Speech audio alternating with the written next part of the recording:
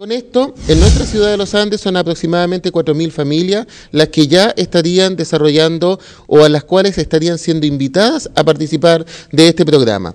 En este sentido, yo quiero aprovechar esta instancia de invitar a los vecinos a participar activamente en este programa.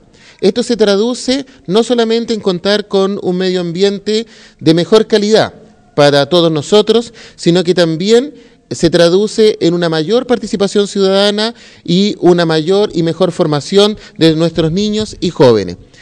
Eh, esta es la etapa territorial del proceso de reciclate, de reciclate.